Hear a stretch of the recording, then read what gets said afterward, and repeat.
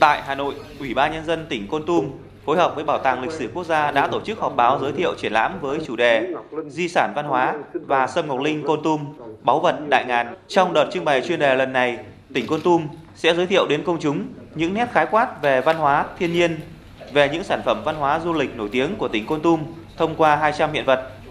Bên cạnh đó còn diễn ra các hoạt động trình diễn nghề thủ công truyền thống, làm gốm của người Ba Na, nghề nhuộm sợi, dệt vải của dân tộc Sơ Đăng,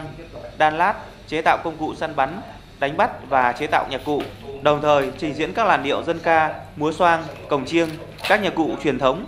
Đặc biệt, triển lãm còn dành một không gian riêng để giới thiệu về cây sâm ngọc linh nổi tiếng. Theo dự kiến, lễ khai mạc sẽ được diễn ra vào ngày 20 tháng 1 năm 2019 tại Bảo tàng Lịch sử Quốc gia Việt Nam.